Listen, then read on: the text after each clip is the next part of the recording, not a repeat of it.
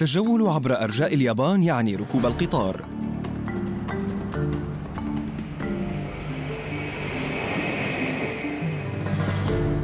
لأن اليابان بلاد السكك الحديدية بامتياز.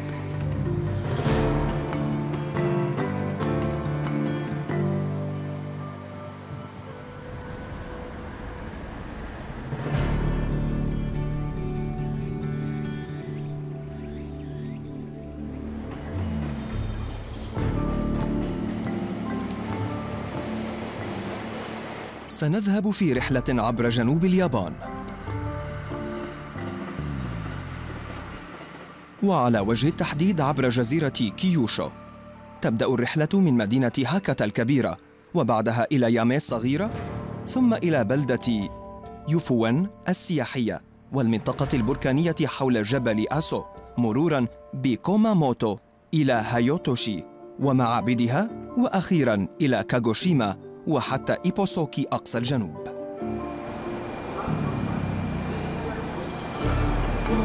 السفر بالقطار ثقافة خاصة في اليابان حيث تكتسب حتى الممارسات اليومية لمسة أنيقة. بالإضافة للكفاءة. أمام طاقم التنظيف دقائق معدودة لتنظيف القطار كله.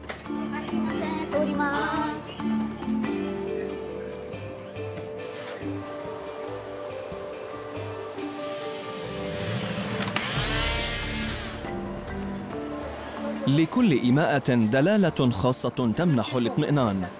هل رأيت كل شيء وفعلت كل شيء؟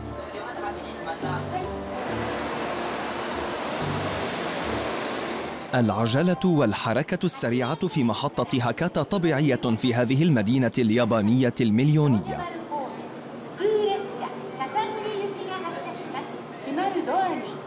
لكن لا وجود للفوضى فكل شيء يتحرك بشكل منظم. إظهار الانضباط في الأماكن العامة فضيلة مهمة جدا.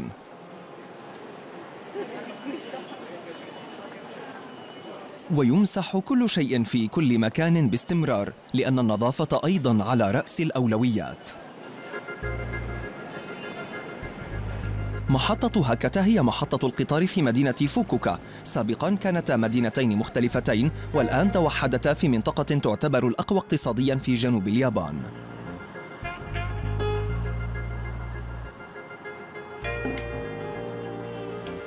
التعاملات التجارية مع القارة الآسيوية نشطة جدا هنا. وأسفل هذه الأبنية الشاهقة توجد أسواق صغيرة أيضا. يباع هنا الشاي الأخضر وبالطبع الكثير من الأسماك. يتوفر لحم الحوت أيضا. لكن بالطبع يستهلك هذا الطعام الشهي لأغراض علمية فقط. لا تقتصر حركة السير في المساء في فوكوكا على الركاب العائدين إلى منازلهم لأنه ما زالت بعض التقاليد قائمة هنا. ابتداء من الساعة الخامسة مساء نرى المزيد من المقطورات الغريبة في الشوارع والتي تستولي على رصيف المشاة.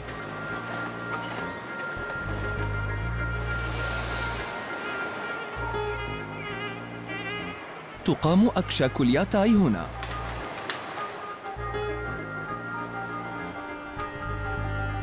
في المساء تصبح أجواء المدينة أكثر انشراحا مع خروج الناس بعد إنهاء أعمالهم. يتجهون إلى أكشاك الياتاي وهي مطاعم متنقلة صغيرة تقام كل بداية المساء ثم تختفي من جديد ليلاً.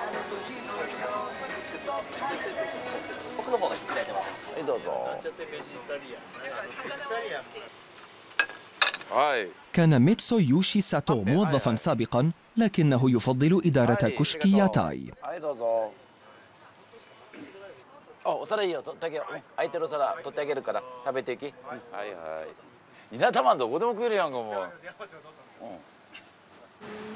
بالطبع كما في أي عمل تجاري توجد أوقات سيئة.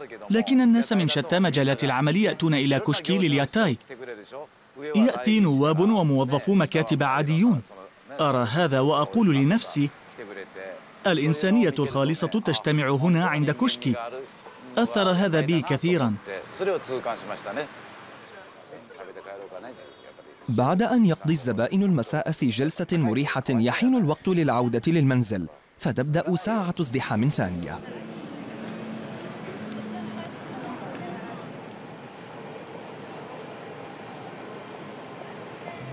في صباح اليوم التالي غادرنا المدينة التي تضم مليونا ونصف مليون نسمة.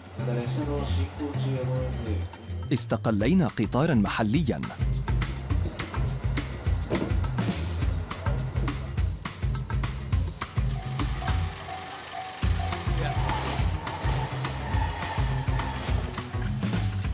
تنتشر خطوط السكك الحديدية في اليابان حيث توجد شبكتان.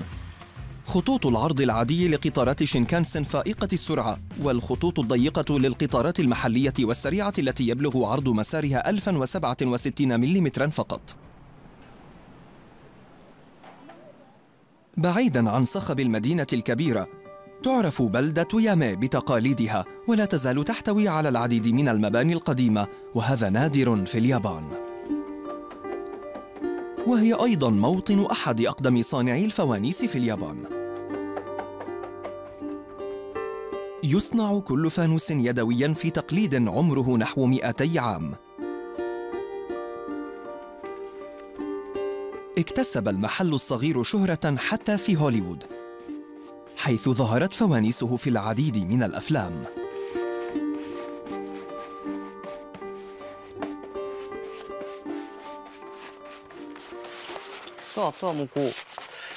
نعم في النهاية هو ورق يتجعد بسرعة.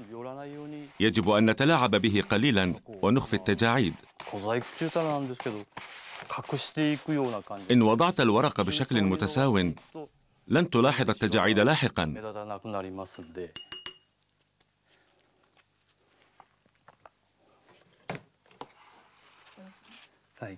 هنا حيث قمت بلصق الشريطين الورقيين معا وعندما يصبح الفراغ نتيجة القص واسعا كثيرا أو معوجا فإن منظره يبدو غريبا.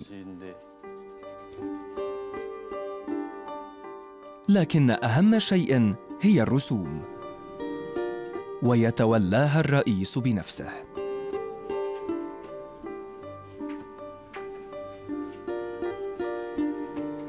هذا العمل تأملي تقريباً.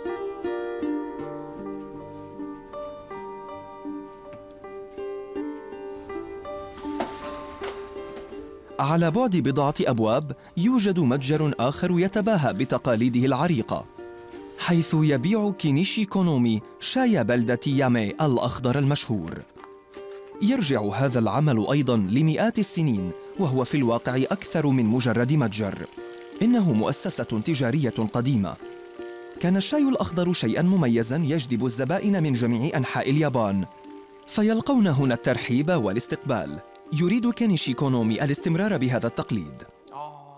في الواقع كان الشاي الأخضر شرابا نادرا شهيا لكنه الآن ينتج بكميات أكبر بكثير لأن حصاده كان يتم في السابق يدويا. بالتالي كانت كمية الإنتاج قليلة تقريبا لذا كانت قيمته كبيرة وانعكست على سعره بالطبع.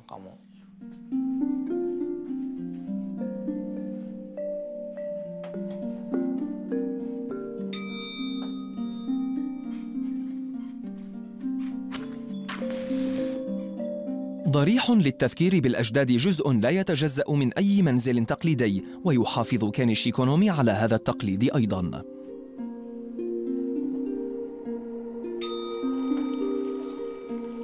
غادرنا مطعم الشاي الهادئ وتوجهنا لمتحف حيوي أو بالأحرى مهرجان شعبي. كل خريف تجتمع البلدة كلها لأداء لعبة دمى قديمة. لكل شخص دور في هذا المسرح المصنوع كله من الخشب دون استخدام مسامير أو براغي. يركب ويفكك منذ 300 سنة. تحت في الطبقة الأخيرة يتحكم بخيوط الدمى وفي الطبقة الثانية يتحكم بالقصابات.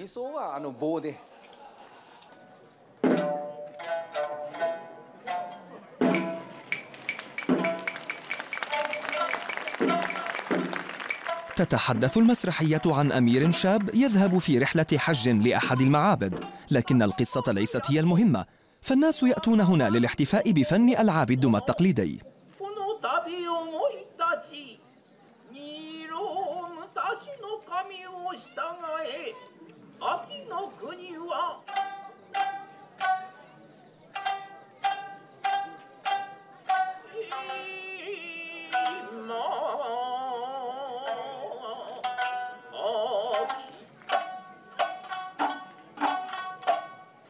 يتطلب تحريك الشخصيات فرقا بأكملها ويشارك بهذا صانع الفوانيس هيروكي إيتو أيضا.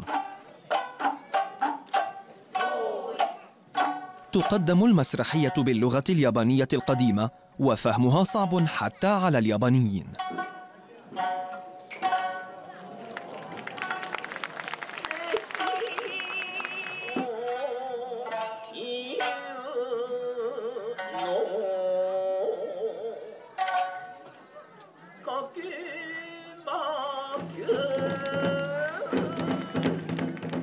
تعرض المسرحيات مرة واحدة كل عام في الخريف.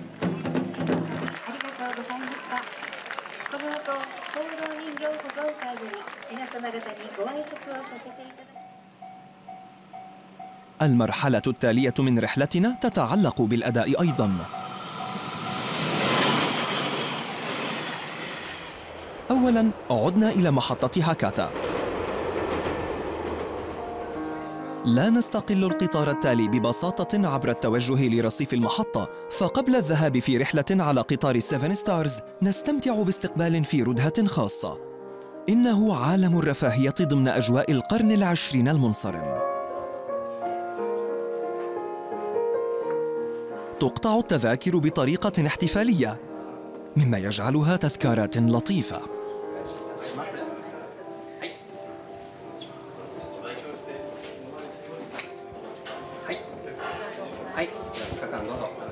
ويعرف الطاقم كله عن نفسه الواحدة تلو الآخر.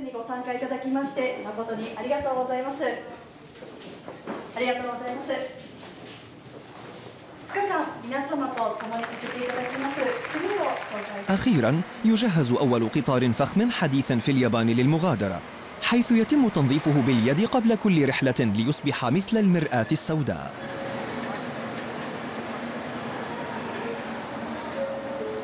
القطار يذكر نوعا ما بقطار الشرق السريع الشهير. تتسع مقطوراته السبع لثلاثين راكبا فقط. لكن مع كل الفخامة التي يمكن تصورها تشرح المرافقة وظيفة كل زر وتهتم بشكل خاص بالإشارة للفرق بين آلة دفق المياه في المرحاض وزر الإنذار. للوحة التحكم في المرحاض نصيبها من المزايا. يتمتع السيراميك بتصميم جميل مصقول تبرز الفخامة اليابانية في جميع التفاصيل. اقترب موعد الانطلاق ولا يكتفي القطار بإطلاق الصفارة.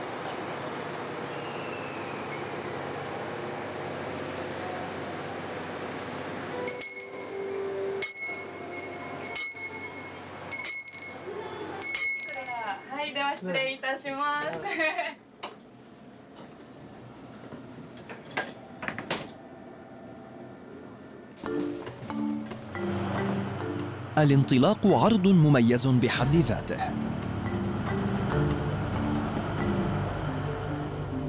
كل شيء يوثق وتلتقط صور لأناس يلتقطون صورا.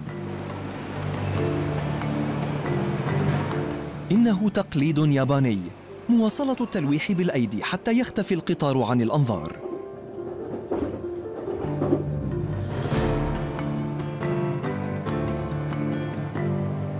غادرنا المدينة. الضوء المنعكس من النجمة جزء من الخطة لأن نجوم كيوشو يجب أن تلمع.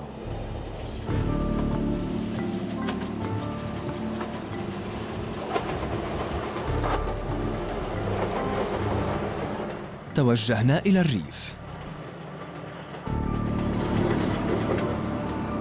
حان موعد تقديم الغداء على القطار. حيث يعمل طهاة من مقاطعات كيوشو السبع على إعداد وجبات رائعة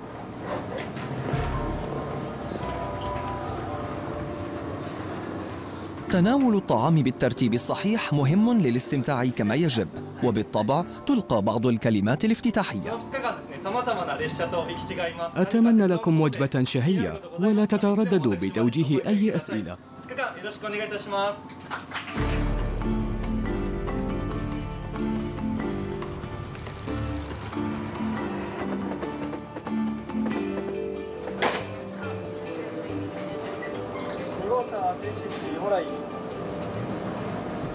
يتوقف القطار لفترات قصيرة.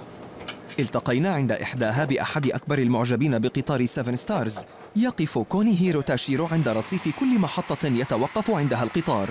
إنه لم يستقل القطار بعد لكنه يحبه. وتظهر تمائم المدينة أيضا عند وصول قطار سيفن ستارز فتدب الحياة في المحطة. حول السيد تاشيرو حبه لقطار سيفن ستارز إلى مهنة فهو يعمل الآن في محطة القطار.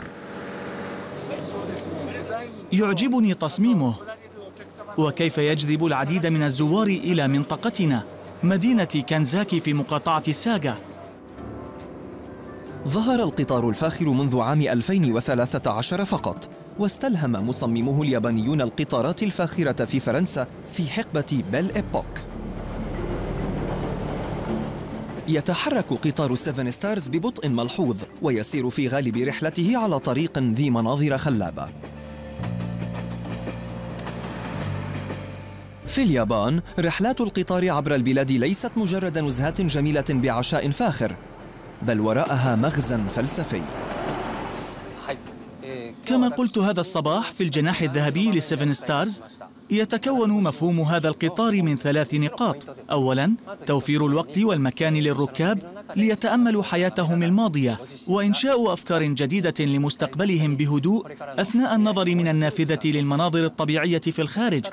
ثانيا نهدف أيضا لمنح ركابنا تجارب جديدة أثناء تفكيرهم بحياتهم.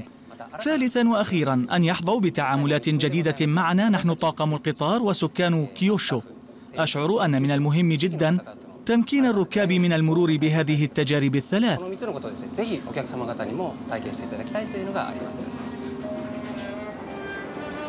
تقديم رحلة قطار بدون وجهة حقيقية وهدفها الوحيد المرور بمناظر جميلة كان يعتبر مخاطرة اقتصادية. لكن هناك الآن عدة قطارات فاخرة تجول أنحاء اليابان وجميع هذه الرحلات الباهظة محجوزة سلفاً.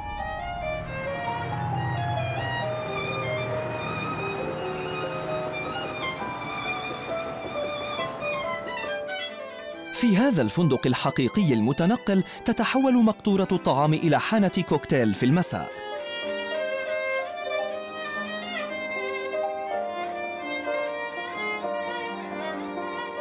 مع تقديم الكوكتيلات على متن قطار Seven Stars وكما ينصح مدير الطاقم يمكن للمسافر التفكير بحياته الحالية والمستقبلية.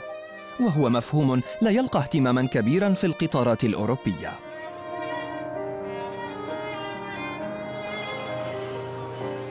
نزلنا من قطار Seven Stars وفي صباح اليوم التالي ركبنا يوفوين نوموري وهو قطار مميز آخر.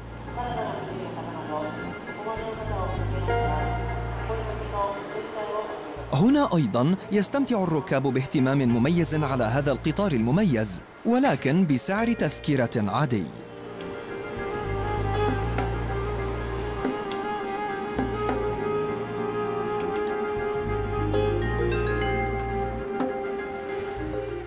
صمم القطار خصيصا للاستمتاع بالمناظر. لكن المقاعد والنوافذ مثبتة في الأعلى. يمكنكم النظر من أعلى كتف السائق في المقطورة ذات النوافذ الكبيرة. توجهنا إلى منطقة عطلات معروفة في جزيرة كيوشو. سمي القطار على اسم منتجع الينابيع الساخنة يوفوين. ولأنه يمر عبر مناطق غابات كثيفة طلي باللون الأخضر.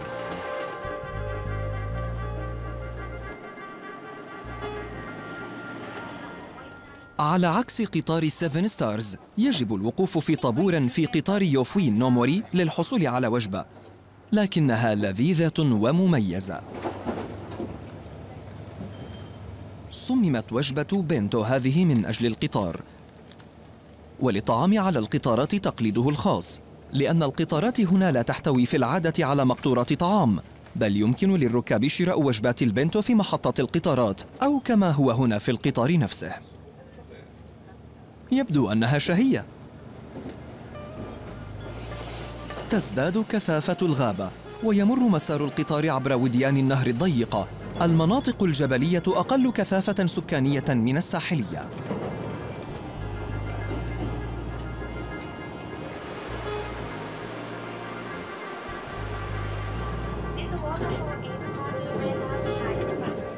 هنا أيضا التقاط صورة على متن القطار جزء من التجربة.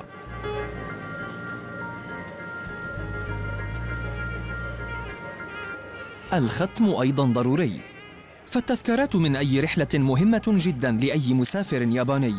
وتقدم جميع القطارات المميزة والمعالم السياحية أختاما تذكارية.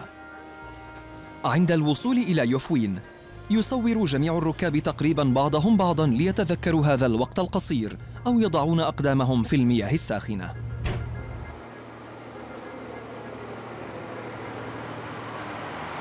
البخار يصعد من كل مكان فيفوين مشهورة بينابيعها الساخنة. وظاهرة الطقس فيها مثيرة للإعجاب ومنظر السماء فيها مميز.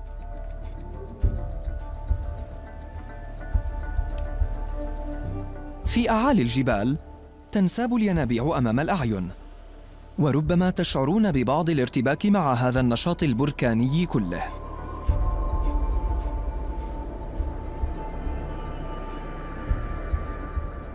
يبدو المكان هنا كأنه فرن بركاني. يظهر ضريح يبلغ عمره حوالي 400 عام أن الطبيعة هنا مؤذية والقليل من الأضاحي واجبة لتهدئة قوى الطبيعة. يكرس منتجع زانسو موراتا نفسه لفن الحدائق والسكن الياباني القديم. الأونسن حمام ياباني ساخن. لكن هذا الوصف لا يفي ما يقدم هنا للزوار حقه. يبقون الحمام بسيطا عن قصد فالمرء يستلقي في الداخل ويستمتع بالمياه الساخنة. لا أحد هنا يفكر بتحويله إلى حمام فقاعات لأن هذا بالنسبة لشخص ياباني يرقى إلى التدنيس.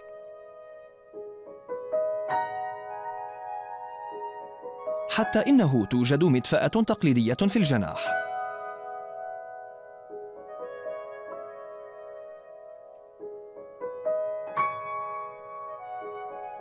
يتم الاحتفاء بالوجبة كما لو كان تناولها طقسا دينيا هذه فقرة من فقرات عديدة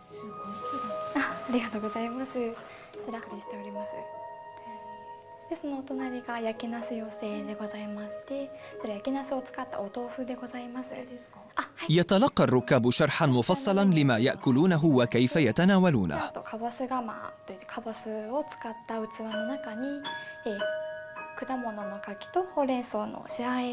يحظون باستراحة من صخب الحياة اليابانية اليومية. عدنا في صباح اليوم التالي وركبنا القطار المحلي الصغير المستعد للانطلاق.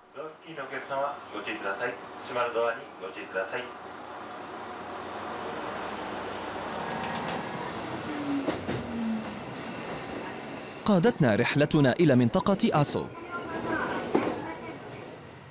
يقود هذا الطريق الجانبي الصغير إلى منطقة فوهة بركان جبل آسو.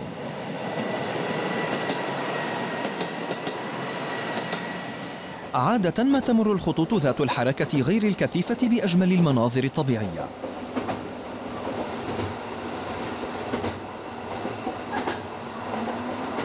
الأسعار معروضة على اللوح. هنا يكاد يقتصر ركوب القطارات المحلية على سكان المنطقة.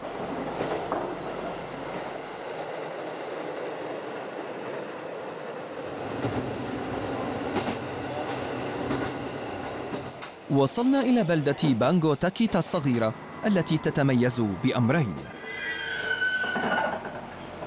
يرحب بالركاب بأغنية شعبية قديمة.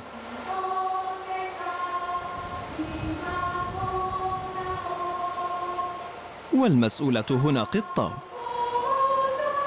تدعى الرئيسة الرسمية لمحطة بانغو تاكيتا ميا.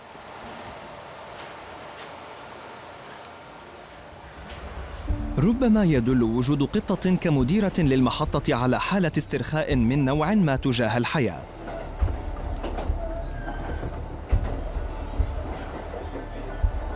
ربما تحتاجون إليها في هذه المنطقة أيضاً لأننا نتجه إلى أحد أكثر البراكين نشاطاً في اليابان. أعلنت منطقة آسو محمية وطنية عام 1934 فصارت محمية آسو كوجو الوطنية الأقدم من نوعها في اليابان.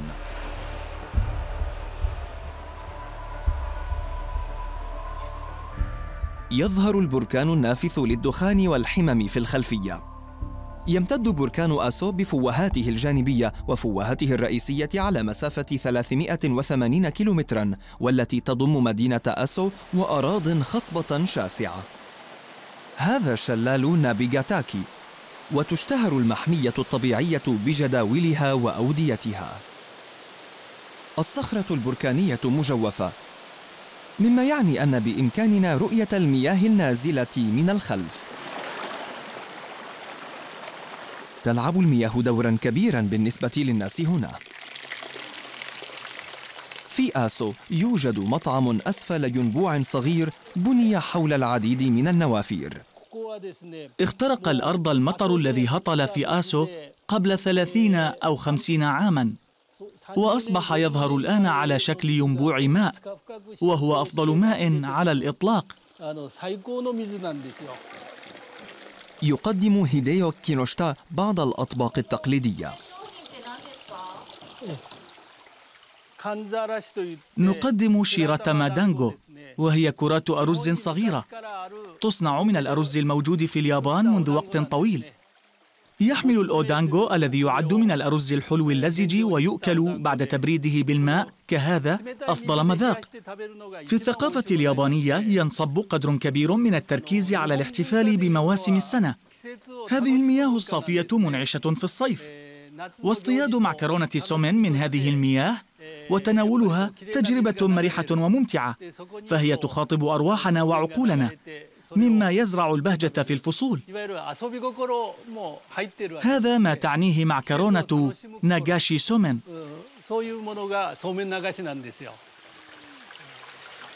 تناول المعكرونة الباردة من ساق الخيزران طريقة أخرى للاحتفال بالطعام وهو من التقاليد اليابانية. وبالنسبة لليابانيين هم لا يواجهون صعوبة في التقاط المعكرونة من الماء.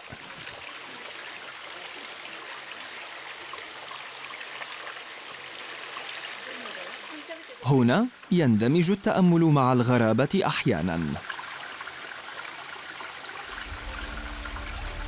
تعج البلدة كلها بالينابيع الصغيرة.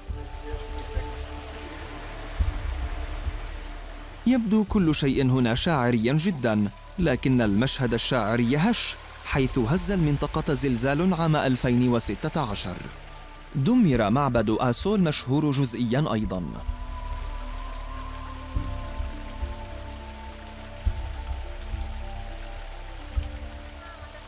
اليابان بلد المتناقضات.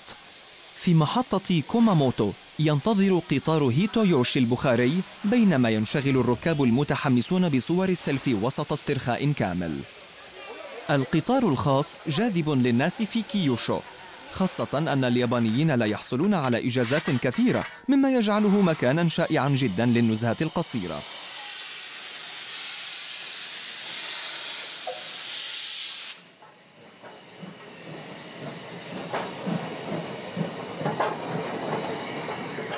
جزيرة كيوشو اكتشف الناس متعة القطارات الخاصة.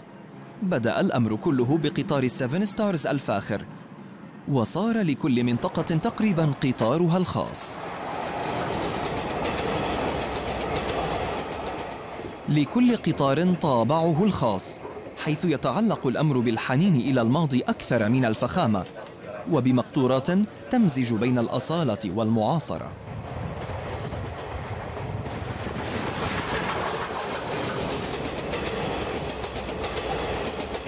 يأخذ المسار الركاب عبر وادي نهر كوما حيث يتبع مجرى النهر لحوالي ساعتين ونصف.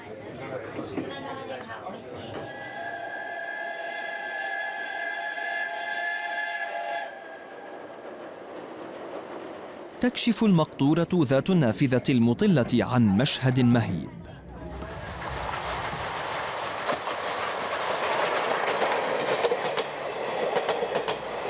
تحرك القطار أقدم قاطرة بخارية يابانية لا تزال قيد الخدمة والتي صنعت عام 1922 لكن المنظر في الخارج هو الجاذب الأساسي. نهر كوما من أسرع الأنهار تدفقا في البلاد إلا أن هناك سدودا في بعض المواقع.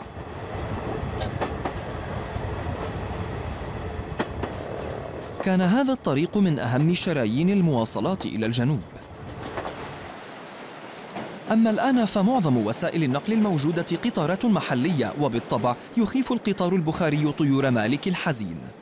سنصل هيتويوشي خلال لحظة حيث يرحب بالركاب شخص مشهور في عالم الطبخ الياباني.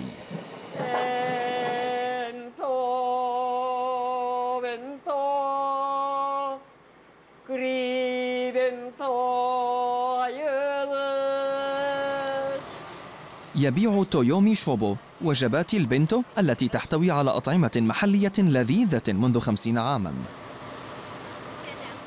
لا يوجد شيء هنا سوى الجبال. أترون؟ لهذا تعد المنطقة ممتازة لجمع الكستناء وهي من الأطعمة المميزة هنا. إنها إنتاج محلي بامتياز حيث تزرع وتعد هنا. أيضا يأتي سالمون المياه العذبة أيو من نهر كوما هنا وهو مشهور.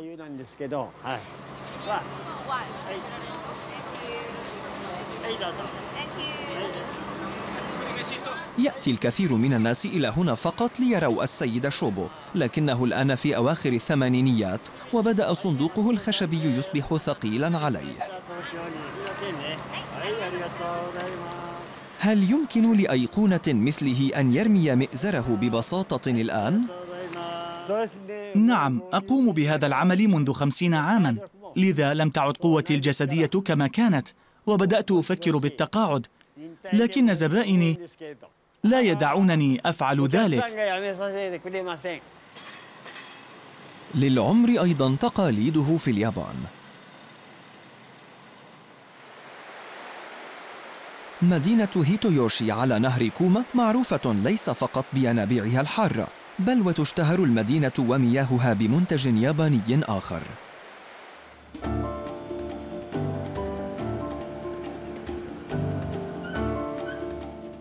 يصنع ساتوشي يوي مشروب شوشو هنا. يستخدم الأرز لصنع هذا المشروب الكحولي الذي يعرف أيضا بالفودكا اليابانية. يطبخ الأرز أولا ثم ينشر بعناية. ثم يضاف فطر إليه قبل أن يتخمر الخليط لفترة من الزمن ويقطر المشروب. يقام هذا التقليد هنا منذ حوالي 200 عام.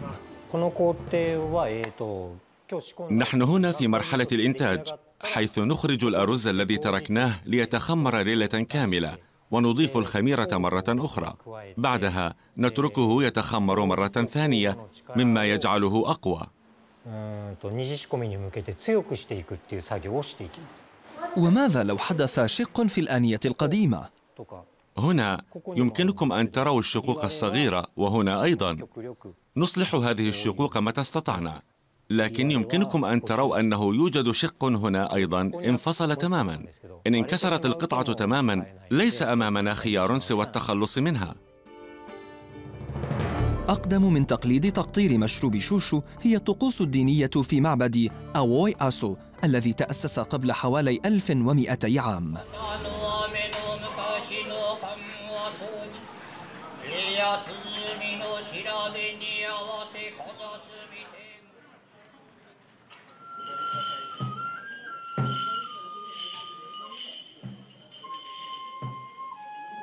كل خريف يقام مهرجان أوكانشي حيث تؤدى رقصات تقليدية في المساء.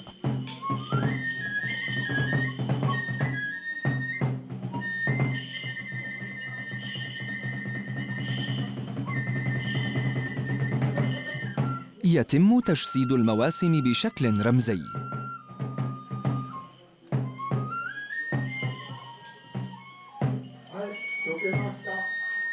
يستمر المهرجان لعدة أيام. في صباح اليوم التالي تتجمع المدينة كلها تقريبا عند المعبد الذي أعلن أن مبناه بأكمله جزء من التراث الثقافي الوطني. دخل الكهنة المعبد حيث تنتظرهم الأسود واليوم هو اليوم المنتظر. يمكن أن يشبه مهرجان أوكانشي بعيد الحصاد حيث يبارك المحصول ويتم التوجه لقوى الطبيعة بالدعاء. بعدها يأتي العرض الذي ينتظره الجميع. تقفز الأسود خارج المعبد.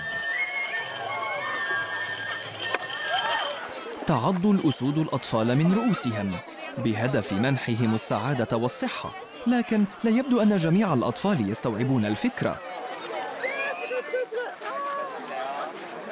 ينتهي المهرجان بموكب. قبل أن نغادر مدينة هيتويوشي ألقينا نظرة على ساعة أمام محطة القطار. هيا يا رفاق.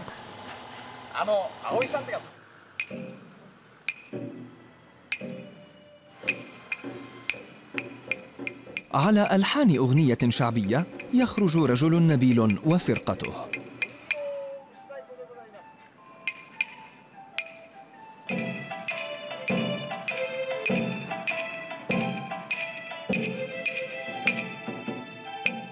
يروي المشهد الصغير قصة أمير شاب يزور المهرجان في المدينة المحيطة بقلعته ويشارك في جميع أنواع الولائم.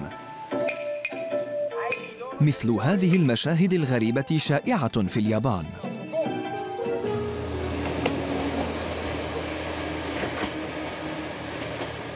اختفى القطار وسط الغابات الكثيفة. هذه الغابات التي يكاد يستحيل اختراقها في بعض الأماكن تهيمن على المشهد هنا مع إكمالنا الطريق نحو الجنوب. خارج المدن توجد الكثير من الطبيعة التي تبدو بكرا. ووسط كل ذلك سكة حديد لها ميزة تقنية خاصة. وهي الطريق المتعرج المزدوج. هنا أسرعنا بالقطار قليلا لإظهار مناورة السير المعقدة. يسير القطار مرتين ذهابا وايابا لكي يتغلب على الارتفاع الحاد. وسط هذه التعرجات تقع محطة أوكوبا الصغيرة التي لا تعرف فقط بمسارها الغريب فالعديد من الزوار يأتون لسبب مختلف تماما. عدد لا يحصى من البطاقات الشخصية يزين جدران المحطة وتضاف بطاقات جديدة باستمرار. يقال إن من يعلق بطاقته هنا في محطة أوكوبا تتحسن فرصه بمسيرة مهنية ناجحة.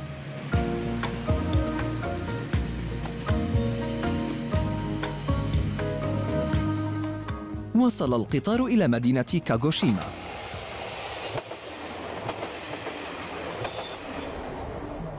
بركان ساكوراجيما حاضر في كل مكان. يقع البركان مباشرة قبالة مدينة كاغوشيما حيث يعيش 500 ألف نسمة. هذه الحاضرة صاخبة بأجوائها وسكانها لا يأبهون كثيرا بالبركان النافث للحمم والرماد باستمرار. تبدو قطارات الترام قديمة الطراز قليلا لكن هذا لا يعني أن شبكة المواصلات متخلفة. كاغوشيما مركز تجاري قديم وقد كانت البوابة نحو العالم عندما انفتحت اليابان على الخارج. توجيه الرجال المسنين لحركة السير ليس مشهدا نادرا في اليابان حيث يشكل العثور على عاملين شباب مشكلة. يجسد تقليد المدينة التجارية منزل عائلة شيمادزو الأرستقراطية الرائدة والذي يرجع للقرن السابع عشر. ظل جنوب اليابان لوقت طويل المنطقة الوحيدة التي تتعامل مع باقي العالم، وبهذا نشأت هنا قوة اقتصادية وسياسية عظيمة. ما تزال شركة شيمادزو موجودة وتنتج معدات قياس ومنتجات صناعية أخرى. بقيت أمامنا المرحلة الأخيرة من رحلتنا إلى الطرف الجنوبي من جزيرة كيوشو. سنمر عبر كاغوشيما ثم نواصل مجددا بقطار مميز ذي نوافذ كبيرة يسير بمحاذاة البحر.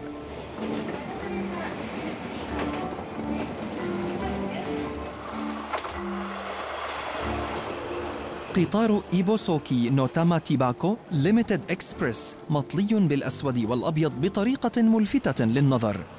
دائما ما يواجه الجانب الأبيض البحر ويحظى بأفضل إطلالة.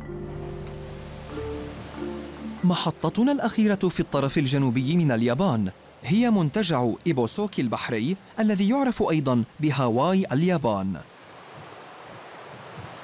الأمور أهدأ قليلا هنا. في حمام هاكوسويكان الساخن توجد حمامات رملية ساخنة. يسخن الرمل عبر الينابيع الساخنة.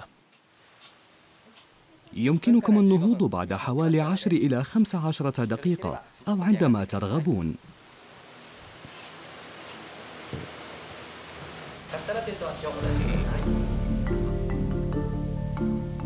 لطالما امتلكت اليابان جانبين. جانب تأملي هادئ يظهر أيضا في حماماتها الكثيرة وصخب مدنها الكبيرة الحيوية. تشبه رحلتنا عبر جنوب اليابان النظر بالمشكال حيث تتغير الانطباعات باستمرار وتنتهي عند البحر. حيث تشعر العين المتفحصة بالراحة.